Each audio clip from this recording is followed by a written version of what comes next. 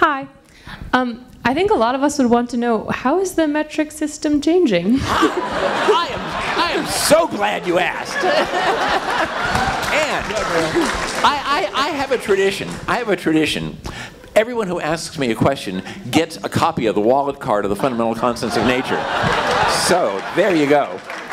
Up until now, up until now, since 1875, that was the time when the International Treaty of the Meter was signed by 19 countries who agreed that they were going to be part of the metric system, including the United States of America. We have been metric since the 19th century, just nobody noticed.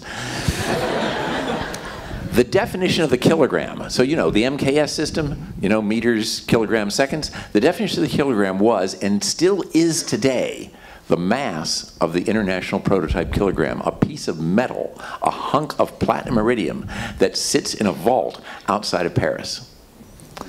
That is the definition of the kilogram. If that thing gets dirty, you all lose weight. because it is a kilogram. Whatever it is, it's a kilogram. Well, that's a scandal. And, and so, because we can't have that kind of a scandal in, in measurement, we are going to redefine the kilogram. And this is the weird part, because this doesn't sound like you could do this. We're going to redefine the kilogram by defining the value of Planck's constant. Now, why does that work? Because Planck's constant is a kind of a conversion uh, um, constant between frequency and energy. That is, the energy of a photon, a single particle of light, is Planck's constant times the frequency. Okay? Well, um, we know how to measure frequency really well. Most famous equation in all of physics, E equals mc squared, right? We've already defined C many years ago to define the meter. The meter is the distance that light travels in a certain length of time. That defines the speed of light.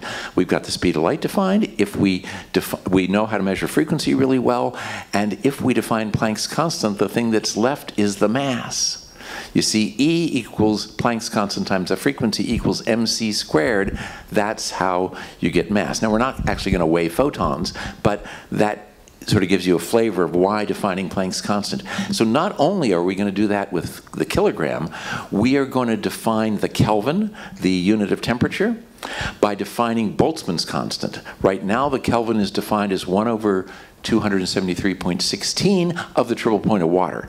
Not that wonderful. It's okay, but the triple point of water is hard to measure. Now it's going to be the value of Boltzmann's constant. Again, it's energy. Boltzmann's constant times temperature is energy, and we love energy. And uh, the mole, you know, the mole used to be, and still is today, uh, tells you what Avogadro's number is. Avogadro's number is the number of things that make up a mole, and that's equal to the number of carbon-12 atoms in 12 grams of carbon-12. Not anymore. It's just going to be a number. it's just a number. And there's one more. What am I? Oh yeah, the charge on the electron. That's going to define the ampere. Today the ampere is based on forces between current carrying wires. Now it's going to be a certain number of electrons per second. It's wonderful.